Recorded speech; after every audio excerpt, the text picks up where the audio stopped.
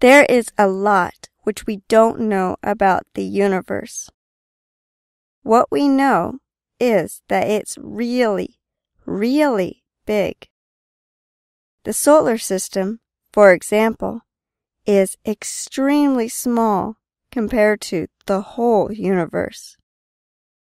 Two filmmaker friends said that every picture of the solar system is wrong. The pictures are not to scale.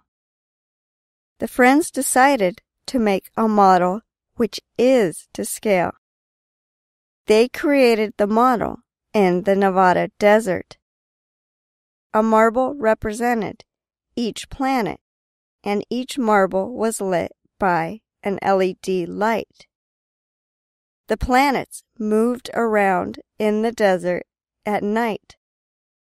The filmmakers turned this into a film. Go check it out.